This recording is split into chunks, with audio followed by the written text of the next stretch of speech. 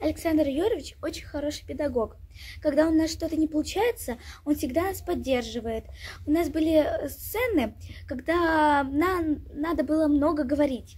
И то есть там были очень сложные слова. У нас э, с ребятами не получалось, и Александр Юрьевич нам все перефразировал, и мы рассказывали очень интересно. Э, и как раз мы снимали киностудии киностудию, там э, были разные КВНы, э, репортажи, а эти репортажи, КВНы, все велось передачи «Бесконечные новости». Каждый из наших ребят были ведущими в них.